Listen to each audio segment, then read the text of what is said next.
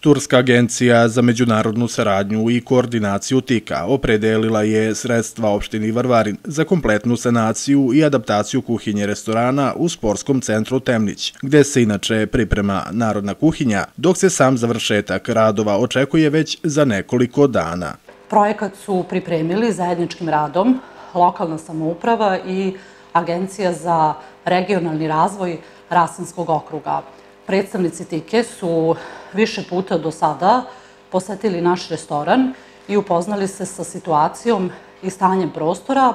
tako da smo vrlo brzo dobili potrebna sredstva i već smo počeli sa radovima.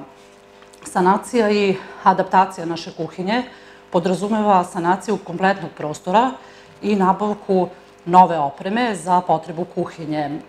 a u toku su radovi na zameni sanitarnih instalacija, gipsani radovi, nakon toga uradit će se i postaviti nova podna i zidna keramika, a po završetku grubih radova ulazim u proces nabavke nove opreme za